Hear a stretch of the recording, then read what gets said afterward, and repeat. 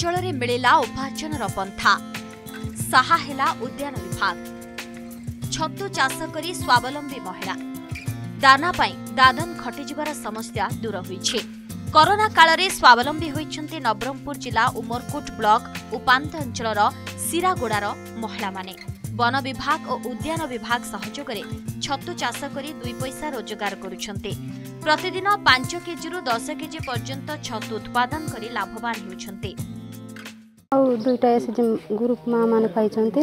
ତାଙ୍କେ ବି କରିଛନ୍ତି ଛତୁ ଚାଷ ସାର୍ ଆମକୁ ଓଡ଼ିଶା ସରକାର ତରଫରୁ ମିଳିଛି। ଆମକୁ ଓଡ଼ିଶା ସରକାରକୁ ଧନ୍ୟବାଦ ଦେବୁ ସାର୍। ଏଇଟା ଆମର ଆଜିକି ଦୁଇ ବର୍ଷ ହେବ କରୋନା କଟକଣାରେ ସମସ୍ତେ ଜୀବି ଜୀବନ ଜୀବିକା ହରାଇଲା ସମୟରେ ଯାହା ବି ହେଉ ରାଜ୍ୟ ସରକାର ଏସ୍ ଏଚ୍ ଜି ମା'ମାନଙ୍କୁ ଏ ସୁବିଧା ଦେଇଛନ୍ତି ଏବଂ ଏଇ ସୁବିଧା ଏ କରୋନା କାଳରେ ଦୁଇ ପଇସା ରୋଜଗାର କରି ସେମାନେ ଜୀବନ ଜୀବିକା ଚଳାଉଛନ୍ତି।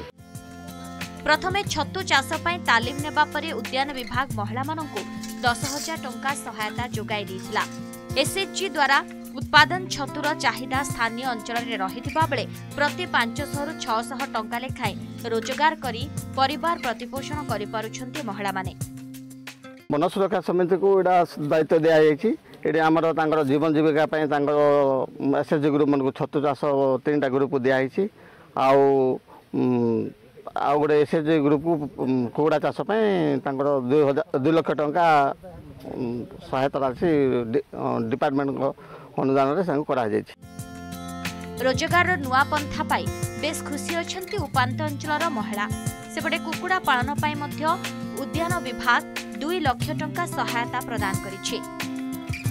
ଉମରକୋଟରୁ କୃଷ୍ଣପ୍ରସାଦ ପଟ୍ଟନାୟକଙ୍କ ରିପୋର୍ଟ ନନ୍ଦିଘୋଷ ଟିଭି